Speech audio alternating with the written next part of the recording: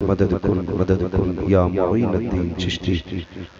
कादरी नारे या गौस आजम भी जन्म दमज़ शेख अहमद रज़ा खान कुतुब आलम भी जन्म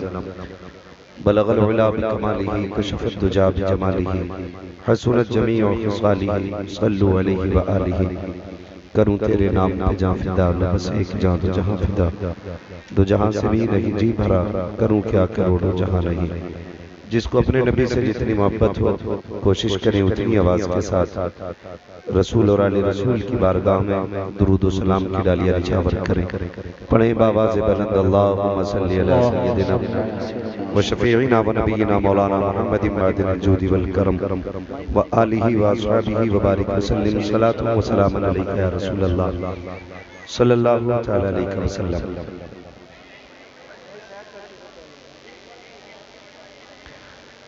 लाइव के मुबारकबाद है। कमेटी के वो, वो तमाम ही नौजवान भाई जिन्होंने अल्हम्दुलिल्लाह आज शाहपुर की सरजमीन पर इस अजीम महफिल का इनका किया। और जिस मोहब्बत से अपने मेहमानों को दावत दी उसी मोहब्बत के साथ सुनने का हक भी अदा किया। थोड़ी देर के बाद नबीर आला हज़रत शहजादे आला हज़रत। हज़रत। अल्लामा मौलाना शाह। हजूर मुफ्ती हसन रजा खान साहब किबला। की आमद आमद होने वाली है। इंशाअल्लाह हम अपने सर की आँखों से हज़रत के चेहरे की जियारत करेंगे। जब तक हज़रत तशरीफ़ ला रहे हैं, उस वक्त तक मैं आपके साथ रहूँगा। जब हज़रत आ जाएँगे इंशाअल्लाह फिर मैं आपके और हज़रत के बीच से हट जाऊँगा। फिर आप होंगे और हज़रत होंगे। बाबा, ये गाँव है अपना। अल्लाह सलामत रखे, ये मोहब्बतें हैं, तकरीर तो सुनते ही रहते हैं।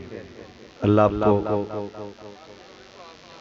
नाना, आज खास है, हुजूर हसन मियाँ साहब का मिला अरे, हम लोग तो मेजबान लोग हैं भी बड़ा अच्छा खिताब आपने मुफ्ती हाशिम रजा साहब से सुना।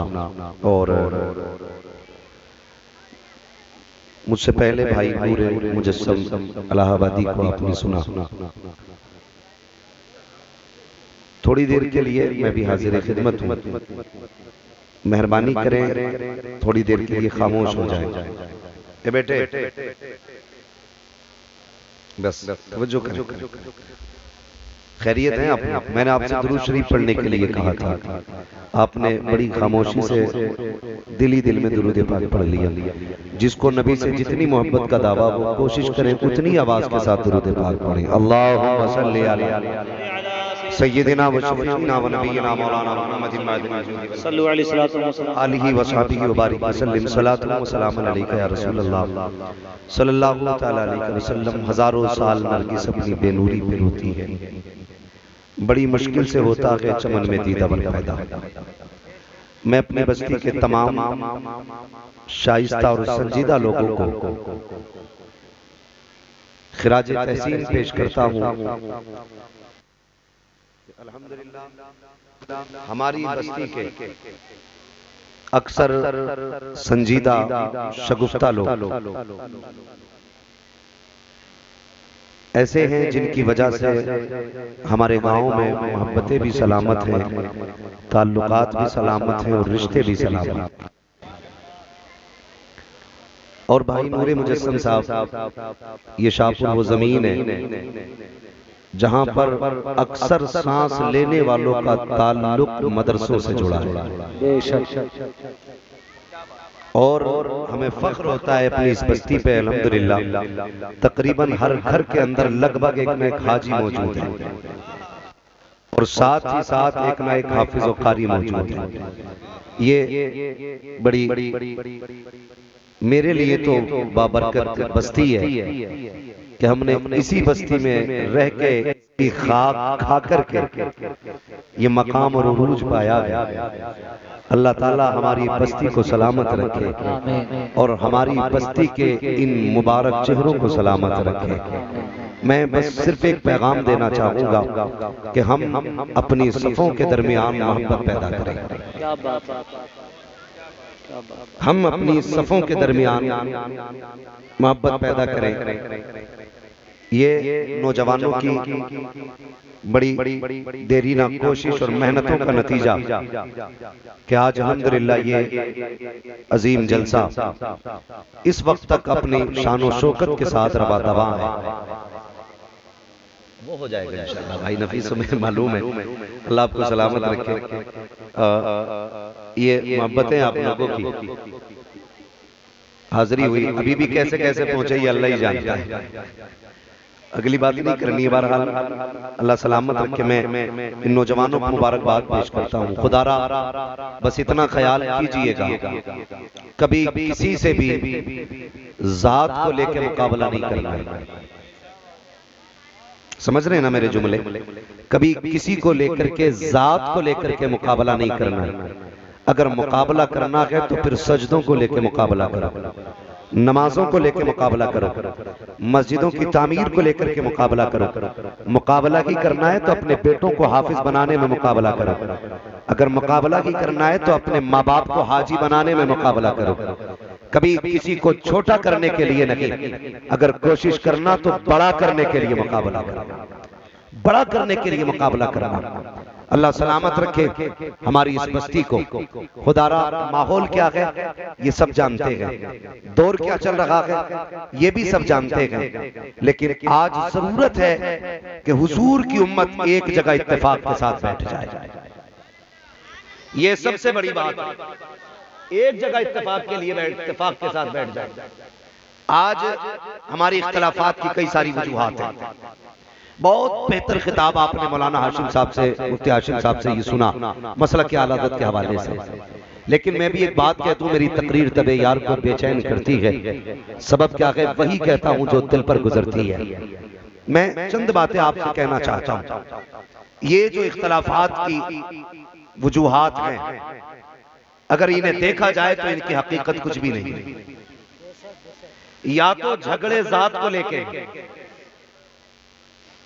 या तो झगड़े जात को लेकर के हैं, या झगड़े सिलसिलों को लेकर के हैं। या तो कोई इसलिए चिड़ता है कि आला हज़रत वाला है, या कोई इसलिए गुस्सा आता किसी को ये शाह शराफत वाला है। किसी को ये ख्याल नहीं आता कि ये कौन सा मदीने वाले मोहम्मद वाला है। कम से कम हुजूर के नाम पे एक हो जाना चाहिए। अगर बात जात की की जाए तो सारी बिरादरी अपनी जगह है। कयामत के दिन सिर्फ़ दो ही लाइनें लगनी एक लाइन जन्नतियों की होगी दूसरी लाइन जहन्नमियों की होगी। वहाँ न पठान की लाइन होगी न तुरक की लाइन होगी न शेख की लाइन होगी न चौधरी की लाइन होगी न तेली बढ़ई की अलग लाइन होगी। सिर्फ़ दो लाइनें होंगी। एक जहन्नमियों की लाइन होगी एक जन्नतियों की लाइन होगी। फैसला आपको करना है। कौन सी लाइन में खड़ा होना है? अगर जन्नत की लाइन में जाना है तो सिर्फ़ एक उसूल अपनाओ। तुम्हें जाना तुम्हें माना। न रखा गैर से काम। हमद में दुनिया से मुसलमान। सुबह अगर हम बात करें बरादरी को लेकर के इख्तलाफात को तो खुदारा ख्याल कीजिएगा। बहुत सोचिएगा मेरी बात को बिस्तर में जाकर के। मैं एक बात कहना चाहता हूँ। मैं अगर लाख कोशिश करूँ तो मेरी कोशिश से कारी आरिफ मिंबर से नीचे नहीं जा सकती। समझे मैं जो मैं कहना चाह रहा हूँ? बेटे पानी भी संजीदगी से पियो। मैं एक बंदे को मिंबर से नीचे नहीं गिरा सकता हूँ। तो हमें क्या लगता है? हम किसी से नफरत करें किसी की बुराई करें किसी से झगड़े करें तो वो नीचा हो जाएगा। कुरान का साफ़ ऐलान है। अल्लाह जिसे चाहता है इज़्ज़त अता फरमाता है। जिसे चाहता जिल्लत अता फरमाता है। जब वो इज्जतें दे तो कोई घटा नहीं सकता। वो जलील करे तो कोई बढ़ा कोई बढ़ा नहीं सकता। बोले कोई बढ़ा नहीं सकता। तो खुदारा सबसे पहला ये सबब है हमारे दरमियान नफरतों का कि हम बिरादरी के लेवल पर इज्जतें करेंगे तो ये खत्म किया जाए। और सिर्फ़ एक ही ख्याल रखा जाए। एक ही सफ में खड़े हो गए महमूद वयास ना कोई बंदा रहा, ना कोई बंदा नवाज़। मस्जिद की पहली सफ से आप अंदाज़ा लगा लिया करो। अगर पहली सफ में किसी भी बिरादरी का बंदा आके बैठ जाए तो सैयद को भी इजाज़त नहीं है, वो उसे पीछे हटा सके। सैयद को भी इजाज़त नहीं है। वो किसी को पीछे हटा सके। और आगे बढ़ के आप देखें ननिहाल जाते हो ड्रेस जुदा होती है ससुराल जाते हो कपड़े अलग होते हैं ये छोटे छोटे सफ़र होते हैं सबके कपड़े मर्ज़ी के मुताबिक होते हैं लेकिन जब हरम शरीफ जाया करते हो बताओ तो सही किसके कपड़े जुदा होते हैं सबको रब ने कहा एक लिबास में आना पड़ेगा एक कलर में आना पड़ेगा मालिक वजह क्या है? का सुन्नत तुम्हें याद नहीं है जब जुमे को फ़र्ज़ किया गया एक मस्जिद में जमा करके दिखाया कि ये अल्लाह के बंदे हैं। जब ईद को फ़र्ज़ किया गया, हमने एक ईदगाह में लाके खड़ा किया। एक वाजिब को अदा करो इकट्ठा हो करके ताकि दुनिया को पता चल जाए, ये इलाके वाले, एक खुदा को मानने वाले हैं। फिर तुम्हें यहाँ से उठाया गया, हरम की ज़मीन पे लाया गया। कहा, सुनो, अब बड़ी बारगाह में आ गए हो। अब सिर्फ़ एक शहर के नहीं आएँगे, एक मुल्क के नहीं आएँगे, एक खत्ते के नहीं आएँगे। कोने कोने के आने हैं। एक काम करना, लिबास वो पहन